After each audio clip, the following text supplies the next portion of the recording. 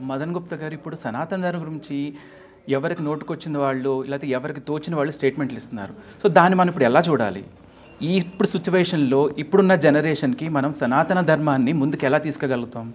అసలు మీరు నేను ఒక చిన్న అంటే మీరు ప్రశ్న వేశారు కాబట్టి ప్రశ్నతోనే మనం మొదలెడదాం.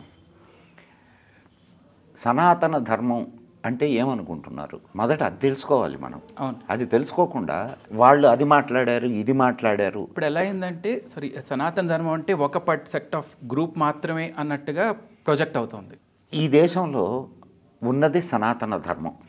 ఈ దేశంలో సనాతనం అంటే ఎప్పటి నుంచో ఉన్నది.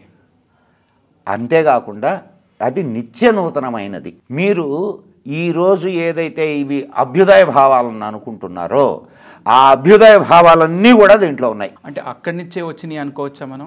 ఈ అభ్యుదయ భావాలు కానీ ఏదైతే దీని అన్నిటి చూడండి సనాతన ధర్మం ఇప్పుడు? ఇక్కడ ఇక్కడ ఒక చాలా చిన్న విషయాన్ని మిస్ అవుతున్నాం. కొందరు ఇదిగో మా ఒక్కటే పుస్తకం. ఇది అంతా మొత్తం అంత విజ్ఞానం అంతా దీంట్లోనే ఉంది. మీరు దీన్నే ఫాలో కావాలా? దీన్ని ఫాలో కాకపోతే చంపేస్తాం. అనే కొన్ని సెక్స్ ఉన్నాయా?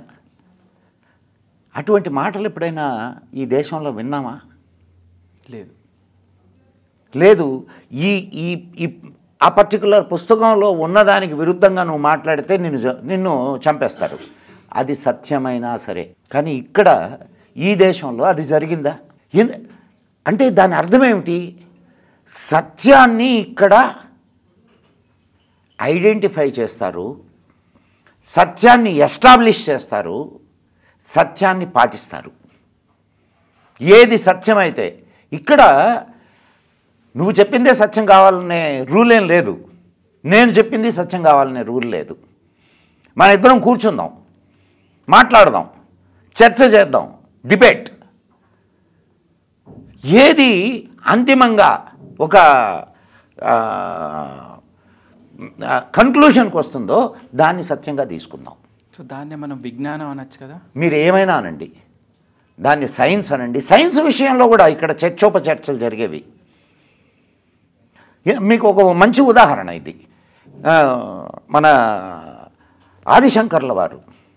ఆదిశంకర్ల వారు మొత్తం దేశం అంతా తిరిగి ఆయన మతాలన్నింటినీ ఏకం చేశాడు. ఇక్కడ మతము ధర్మము ధర్మం వేరు మతం వేరు మళ్ళా. ఇది మీరు జాగ్రత్తగా ఇది చేయాల.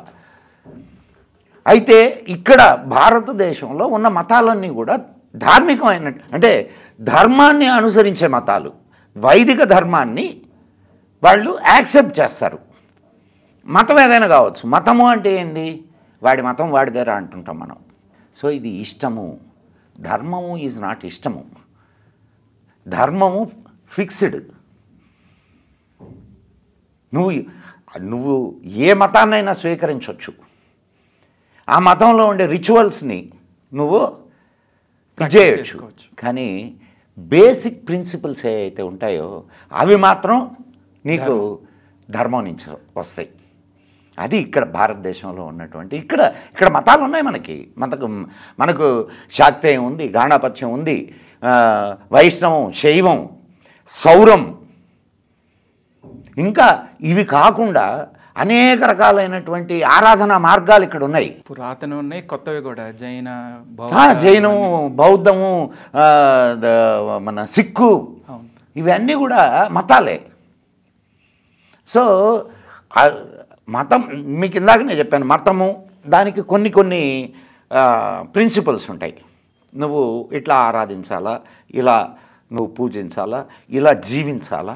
సో వీటన్నిటికీ ఒక ధర్మం బేస్ బేస్ ధర్మం. కానీ ఈ ఈ ఎడారి మతాలు ఏవైతే ఉన్నాయో వాటికి ధర్మం బేస్ కాదు. నేను నేను ఇంకొక రకంగా దాన్ని మాట్లాడాలనంటే అవి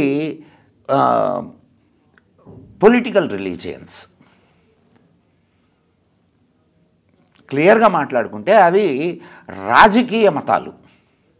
అధికారం కోసం ప్రజల్ని ఒక గ్రూపుగా తయారు చేసి అధికారాన్ని పొందడానికి ఇవి ఒక సోపానాలుగా ఉపయోగపడేటటువంటి మతాలు అవి మీరు చూడండి మీ- నేను నేను అబద్ధాలేం చెప్పట్లేదు.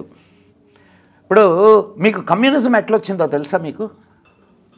కమ్యూనిజం దేంట్లో నుంచి వచ్చింది చెప్పండి నాకు? కార్ల్ మార్క్స్ కార్ల్ మార్క్స్ ఎక్కడి నుంచి వచ్చాడు చెప్పండి? క్రిస్టియానిటీ. క్రిస్టియానిటీలో ఉన్నటువంటి ఆ అణచివేతను అండ్ అక్కడ ఉన్న బానిస మనస్తత్వాన్ని అలవాటు చేసేటటువంటి ఆ సిస్టమ్ని వ్యతిరేకిస్తూ దానికి వ్యతిరేకంగా. కానీ అతనికి ఇక్కడ ఉన్నటువంటి ధర్మం గురించి ఇక్కడ ఉన్నటువంటి సిస్టమ్ గురించి తెలియదు అందుకని ఏదో అక్కడకు అక్కడికి సంబంధించినటువంటి సిద్ధాంతాలు రాసుకున్నాడు. అక్కడికి అది కరెక్ట్ అయి కరెక్ట్ కావచ్చు కాకపోవచ్చు. దట్స్ ఎ డిఫరెంట్ టాపిక్ వాటిని తీసుకొని వచ్చి ఇక్కడ మన మీద రుద్దుతున్నారు కదా.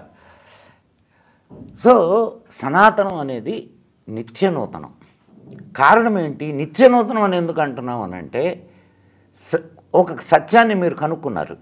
దాన్ని మేము యాక్సెప్ట్ చేస్తాం. కారణం ఏంటి? అది సత్యం కాబట్టి. అవును. సో సత్యం మీద బేస్ అయినటువంటిది ఏదైతే ఉందో అది సనాతన ధర్మం. సో యాక్సెప్టెన్స్ యాక్సెప్ట్ డిబేట్ చేద్దాం. ఏదైనా సరే డిబేట్ చేద్దాం. రండి కూర్చోండి. ఇప్పుడు మీకు ఇందాక అదే చెప్పాను నేను. మీకు ఇంకా ఇక్కడ ఇంకొక విచిత్రమైన విషయం చెప్తాయనండి. మన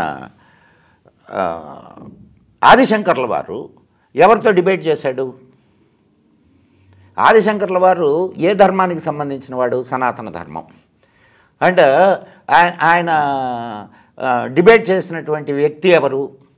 ఆయన సనాతన ధర్మానికి సంబంధించిన వాడే. అర్థమైందా? అంటే నీ సనాతన ధర్మానికి సంబంధించినటువంటి ఇద్దరు ఎదురెదురుగా కూర్చొని డిబేట్ చేశారు. సరే వీళ్ళిద్దరికీ జడ్జి ఎవరు ఉభయభారతి. ఆయన భార్య. ఏమండి? అక్కడ ఉండేటటువంటి కండిషన్ ఏంటి? ఆ డిబేట్లో కండిషన్ ఏంటి? నిజాన్ని యాక్సెప్ట్ చేయాలి. కాదు. ఇప్పుడు ఓడితే గెలిస్తే ఉంటుంది కదా? అవును. పందెం. పందెం. ఏంటి? ఈయన సన్యాసి ఆయన సంసారి. సంసారి. నేను ఆయన ఏం చెప్తున్నాడు మండన మిశ్రుడు? నేను ఓడితే నేను సన్యాసం స్వీకరిస్తా. నువ్వు ఓడితే. నువ్వు సంసారంలోకి రావాలా. ఏమండి? ఈయన ఓడిపోయాడని తీర్పు చెప్పాను అనుకుందాం. అనుకుందాం? అప్పుడు తన సంసారమే కదా కూలిపోద్ది? అట్లని ఉభయ భారతీదేవి ఏమన్నా ఇది చేసిందా? అది ధర్మం. సత్యమేదో దాన్ని ఆమె ఎస్టాబ్లిష్ చేసింది. దాన్ని ఒప్పుకుంది ఆమె. ఇద్దరు ఒకే ధర్మానికి సంబంధించినటువంటి వాళ్ళు రెండు డిఫరెంట్ టాపిక్స్ రెండు difference of opinions not topics రెండు డిఫరెన్స్ ఆఫ్ ఒపీనియన్స్ మీద మాట్లాడుకున్నారు వాళ్ళు. దానికి ఎంత ధర్మ ధర్మబద్ధమైనటువంటి సబ్జెక్ట్ అది ఎంత ధర్మబద్ధమైన చర్చ ఎంత ధర్మబద్ధమైన తీర్పు అది భారత్ మీకు అంటే నేను ఒక ఒక్క ఉదాహరణ ఇట్లాంటి ఉదాహరణలు చాలా ఉన్నాయి భారతదేశంలో. చర్చోపచర్చలు. ఇది ఒక ధర్మానికి సంబంధించింది ఒక అంటే ఫిలాసఫీకి సంబంధించినటువంటి చర్చ మాత్రమే. ఇది ఇది? సనాతన ధర్మం ప్రపంచానికి ఒక వరం లాంటిది. సనాతన ధర్మం యొక్క గొప్పతనాన్ని మేము untold stories from Hinduism Vedic facts ధర్మ సందేహాల ద్వారా మనలో చాలామందికి తెలియని విషయాలు చెప్తూ జాగృతిపరిచే ప్రయత్నం చేస్తున్నాం సనాతన గొప్పతనాన్ని చాటేందుకు వీడియోస్ను లైక్ చేయండి అలాగే షేర్ చేయండి. సబ్స్క్రైబ్ చేయడం ద్వారా మాకు సపోర్ట్ ఇవ్వండి అలాగే మీ అభిప్రాయాలను కామెంట్స్ రూపంలో పంచుకోండి.